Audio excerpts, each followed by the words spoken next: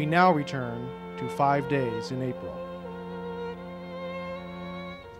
Through the years, Governor George Mickelson made many appearances on South Dakota Public Television and radio, and we were always glad to have him on.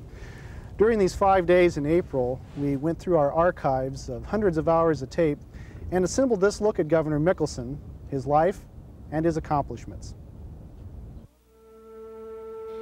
George Speaker Mickelson was born on January 31, 1941, in Mobridge.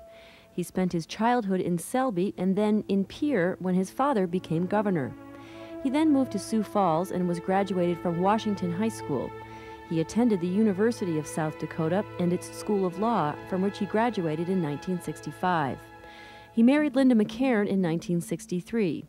The Mickelsons had two sons and a daughter. Mickelson then spent two years in the Army part of which was spent on a tour in Vietnam, during which he suffered severe hearing loss. Upon his return from Vietnam, Captain Mickelson became Assistant Attorney General and worked as a special prosecutor in the Attorney General's office. From 1970 to 1974, he was the Brookings County State's Attorney. In 1975, Mickelson was elected to the House of Representatives and served there until 1981. For two of his years in the House, he served as its Speaker.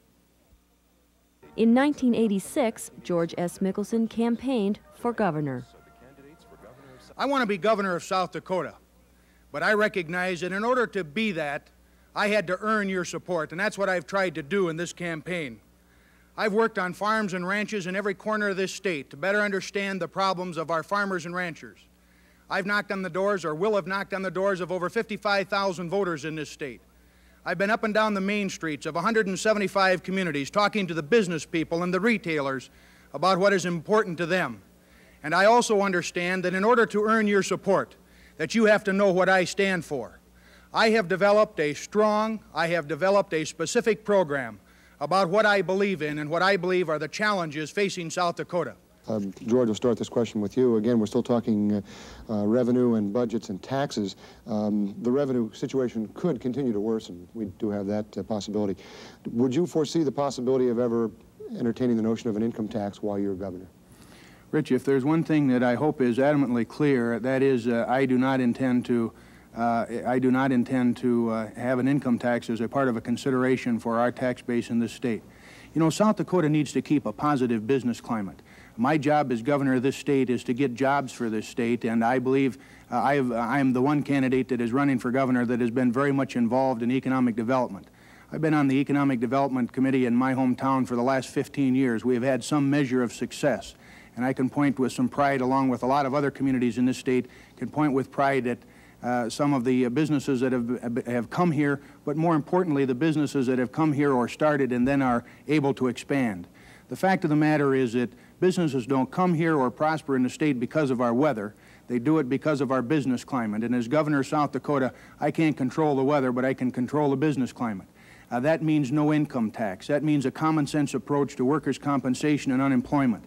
That means maintaining our right to work law. Those are some philosophical differences between uh, Lars Herseth and myself on the business climate.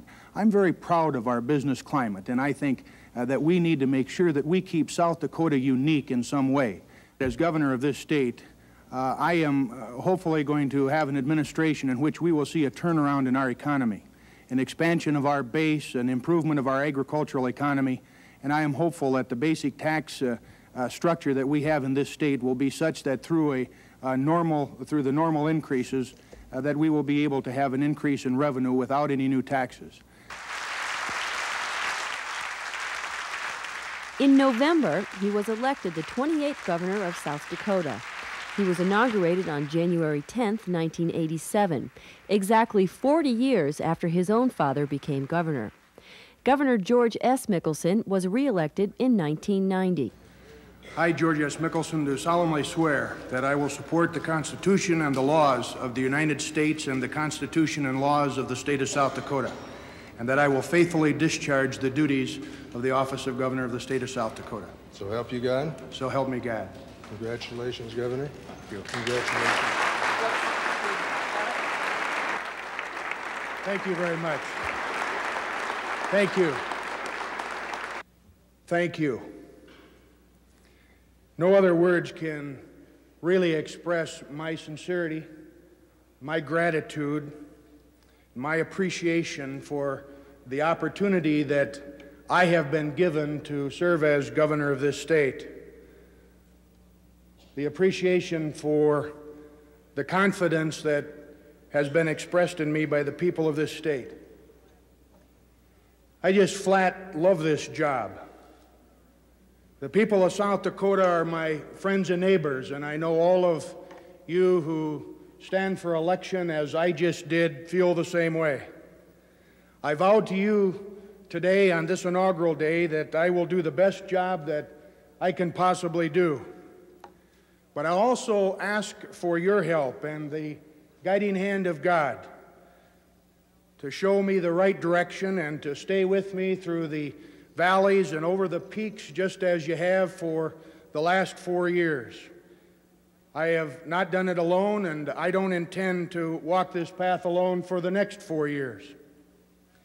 Teddy Roosevelt, who had a special appreciation as we do for the prairies of Dakota and for our Black Hills, whose face is also on Mount Rushmore, knew that each of us must rely to a great extent on common sense to make it through this life.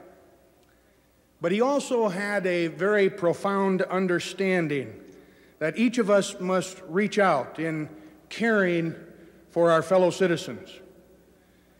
If we are to do as I believe we shall and will do, he said, if we are to advance in broad humanity and kindliness, the spirit of brotherhood, it must be by developing men who scorn wrongdoing and who at the same time have both the courage and the strength to strive mightily for the right.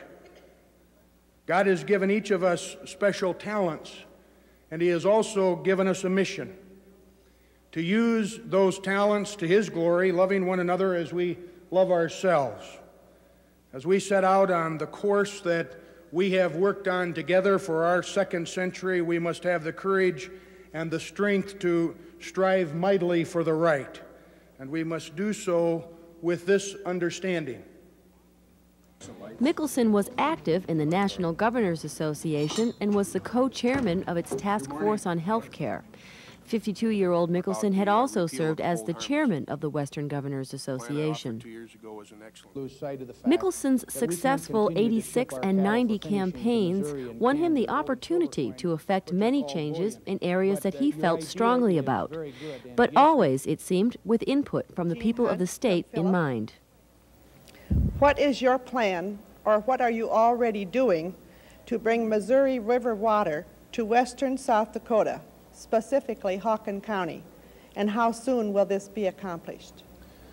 Well, Mrs. Hunt, uh, I am, uh, I, you hopefully uh, are aware of the emphasis that I have placed on trying to make a reality out of a lot of the talk that we have had over the last 40 years of development of, the, of that great resource that we have in the center of this state, and that being the Missouri River, in uh, shipping some of that water so that we have quality water in all parts of this state.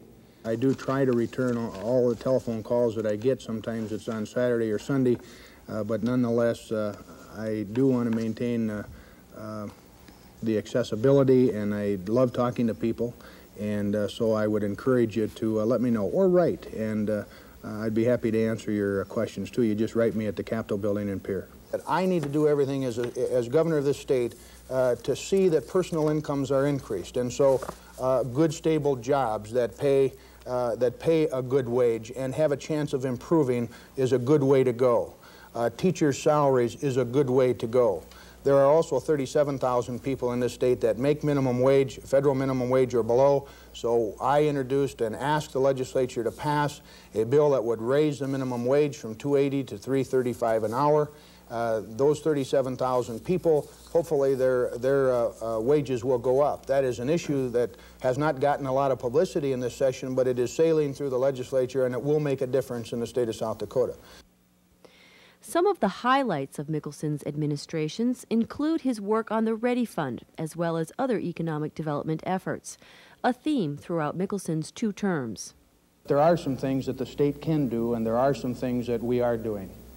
For example, with the REDI Fund, which uh, took effect a few days ago in terms of the rules and regulations that are available, we have been targeting agricultural companies that have a value added uh, to the, uh, uh, that add value to the commodities, I should say, that we produce in this state. I'm here to tell you about a success story in a partnership for today and for the future. A partnership that will work better as time goes on if we decide that we are going to work together. Today I'm breaking tradition and announcing my budget proposals in a school because I cannot think of a better place or a better opportunity to make a point. Quality education is the most important ingredient in creating a better future for all South Dakotans during our second century of statehood. The REDI Fund continues to also create opportunities in South Dakota. Average production wages, line wages for REDI companies increased 79 cents per hour. That's a 13% increase over last year, three times better than the rate of inflation. Our economy is becoming more diversified. The exporting of South Dakota products is expanding dramatically. South Dakota made products and sold them in 85 countries. That's a 25% uh, uh, correction, 27% increase since 1988. In raw dollars, our exports have, uh, uh of uh, manufactured products have increased from $56 million in 1987 to over $200 million. In comparison with other states, we're moving forward in spite of a national recession and federal mandates that tend to drain the resources that are very important to us. Now, unfortunately, too often, we in South Dakota seem to sometimes have an inferiority complex about successes that we have. Perhaps it's our inborn humility to, or a penchant for self criticism. Or maybe it's just human nature to think that things might be better somewhere else. But the bottom line truth for all of us sitting here today is that we are really in much better shape than most people realize. We aren't always the best, and we have an awful lot of challenges, but in almost every state by state ranking, we do very well, and the trends are positive. I don't blame the media for pessimism because their job is to point out and sometimes glorify those shortcomings. Criticism, frankly, can be a good motivator. We have all experienced that. I don't even blame political opponents because the political system and the role of opposition is to raise questions and doubts about what we're doing. That's why we have the two party system, and that is important. I may never convince, I may never convince everybody to be optimistic about South Dakota, but I can guarantee you that nobody is going to convince me to be pessimistic about this state or its future because no matter what's in the headline, I know that we're on the right track and South Dakota is moving forward.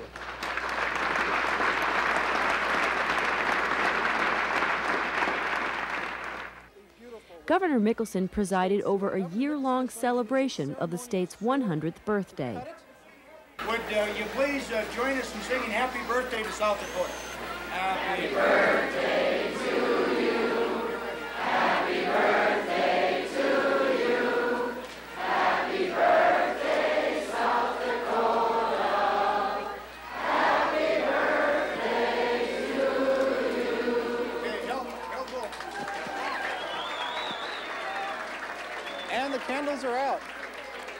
There were many events that marked the state's centennial, and the governor enjoyed many of them with his wife, Linda.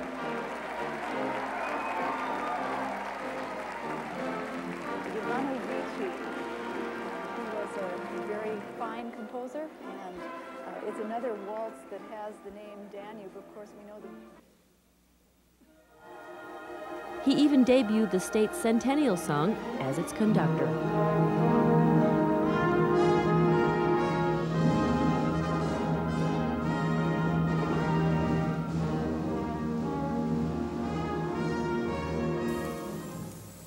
This is the second day of our second century of statehood. And it is truly an honor, a more deeply felt honor than anybody in this uh, great hall will ever realize at this time for me to be able to stand here as your governor during this centennial celebration. A celebration which is really a celebration of a people. A centennial celebration which is a celebration of a system of law. A celebration of a people for the society that they have built. And this great Capitol building, the meeting hall of all of the people of this state, is the focal point of our whole system and our society and our law. A hundred years ago, almost a hundred years ago today, Governor Mellette, the last territorial governor and the first governor of the state of South Dakota, stood in a different building than this today. But he really said it best when he was so proud of the fact that this state had achieved statehood. And he was celebrating at that time with all of the people that had worked so hard for statehood because they wanted to be their own bosses. They wanted to elect their public officials. They wanted to set up their own system and to determine their own destiny. And those are the same kinds of thoughts that we have to have in our hearts and our mind today. The very special feeling that I have today stems perhaps in some part to the fact that throughout all of my life, in various stages, I have been privileged to be able to spend thousands of hours in the hallways, in the offices, and the chambers of this building. As I was five years old and six and seven, and just like some of the young people who are seated in this rotunda today, and hopefully they will come back and always remember this day. When I was growing up in Pierre while my father was governor, I had an opportunity to be in here and to watch, perhaps not paying as much attention as I should have then. As I was in the legislature and now that I've been able to serve as your governor, I have spent a fair share of my whole 48 years in this grand old building. And for the most of that 48 years, I didn't realize, frankly, the mysteries that lay buried beneath the many coats of paint and the layers of dirt and behind the walls of this building. But today, it is a special honor and a pleasure to be able to work here. We've had a fantastic celebration of our centennial year, and this, the last day, the finale of the celebration, promises to be uh, one of the best. Uh, I think the thing that has impressed me more about the centennial than anything else is the extreme pride that the people all over the state have shown in their individual communities and in the state. Pride by the people who live here and who are building their communities and watching changes take place uh, pride in the people who are former South Dakotans that have come back to South Dakota, uh, literally hundreds of thousands of them during this uh, celebration. I think we have to also be very mindful of the fact that as we have celebrated the centennial year, those of us that happen to be here now, we have also uh, thought carefully about uh, the future and about uh, our children and grandchildren by developing lasting legacies that uh, 10 years from now, 25 years from now, we'll be able to recall our centennial celebration and point to some very positive things that we have done in terms of lasting legacies for future generations. Reconciliation efforts between the state and its American Indian tribes was another milestone in the Mickelson administrations. He involved himself and the state in a year long effort that he hoped would continue into the next century. Whereas, as the state of South Dakota celebrates the beginning of its second century, we must also remember that statehood was a sad time for the Native Americans. And whereas two tragic events, the killing of Sitting Bull on December 15, 1890, and the Wounded Knee Massacre on December 29, 1890, occurred just 13 months after South Dakota became a state. Whereas the anniversary of these tragic conflicts, as well as the celebration of 100 years of statehood, offer an opportunity for South Dakotans to learn more about the life and culture of the Dakota, Lakota people. And whereas strife between the cultures in South Dakota has for 100 years been of grave concern to us all and continues to be of concern, and whereas any improvement in cultural understanding in the past can be attributed to the work of the Indian and non-Indian people of South Dakota who have striven to understand our differences and to educate those of us who have grown up together, but who have never made the effort to bridge the cultural gap. And whereas a statewide effort to develop trust and respect between Indians and non-Indians can and must include participation from the private and the public sector, from churches and church associations, from tribal and state government, from individuals, communities, and community organizations. And whereas the mutuality of interest provides a sound basis for constructive change, given a shared commitment to achieving our goals of equal opportunity, social justice, and economic prosperity. And whereas by celebrating our cultural differences and drawing on those differences for the betterment of all, we can create a new respect among our citizens. This past year has been an important time for South Dakotans, both white and Native American. I'm proud of the tone that we have set. And while we were learning to live in unity, at least taking a first step toward learning to live in unity, all of America casts its eyes on this state as the wondrous film Dances with Wolves showed them the beauty of our landscape and the importance of our past history. It's altogether fitting. This movie captured the hearts of our countrymen at the same time that we in South Dakota began to reconcile differences which grew out of seeds uh, sown generations ago. Because just as we've been able to show the nation how we can conquer problems facing state government, we also have shown them how we can span the canyon separating the different cultures with a firm resolve and a peaceful heart. Mickelson was on watch as international events touched South Dakota. President Bush has made the ultimate political decision with the implementation of Operation Desert Storm. When history is written on the events of the last several months and the days to come, there will certainly be disagreement and agreement throughout this nation and the world about the decisions that led up to the events that we are witnessing.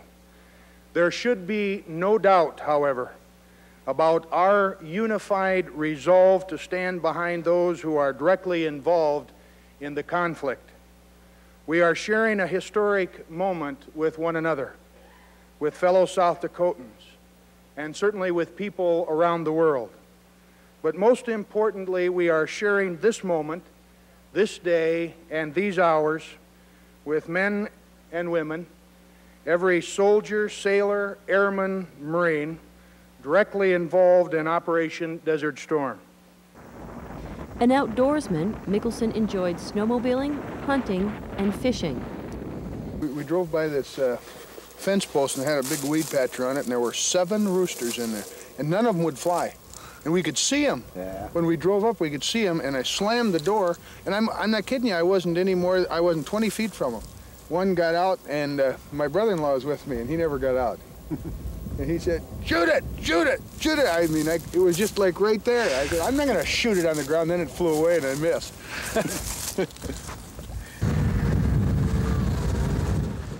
and at times, he took the opportunity to boast a little about his state. Millions of people have seen the Black Hills of South Dakota in the summertime, and they know how beautiful it is. But fewer people understand really how great it is out here in the winter. With the skiing and the snowmobiling, this is a blast. The governor participated in annual events in which he shared his enthusiasm for the beauty of our state with the people he governed for five years. George S. Mickelson, the 28th governor of South Dakota, died April 19, 1993.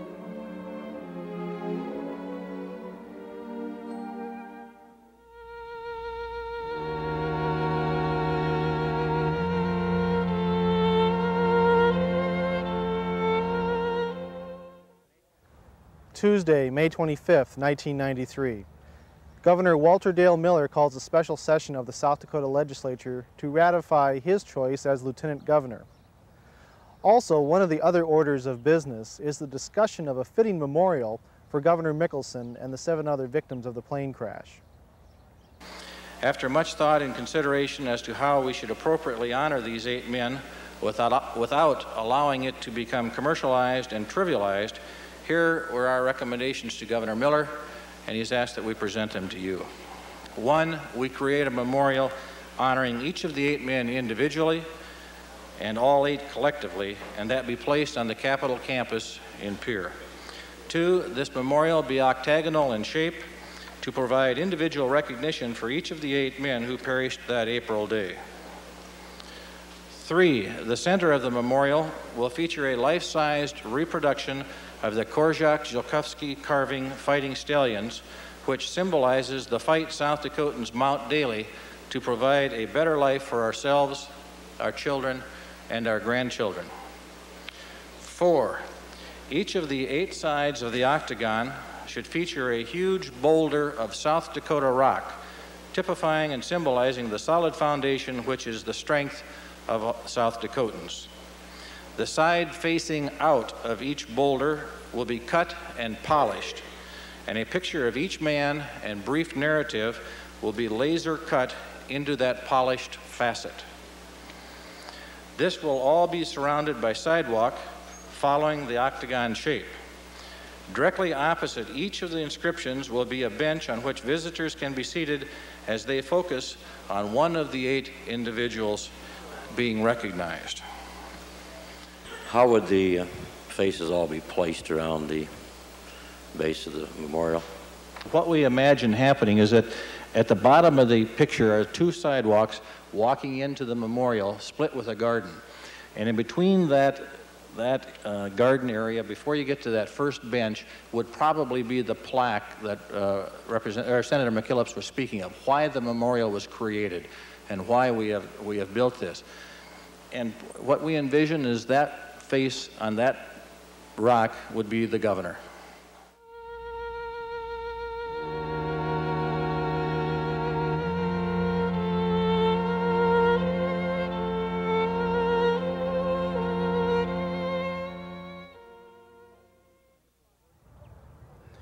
These five days in April were an extraordinary time in South Dakota's history. We came together, we grieved together, we drew strength together. These eight men were on a mission to help the people of South Dakota. Let us not forget their selflessness, their love, and their example. For South Dakota Public Broadcasting, I'm Todd David Epp. Thank you for watching. So long.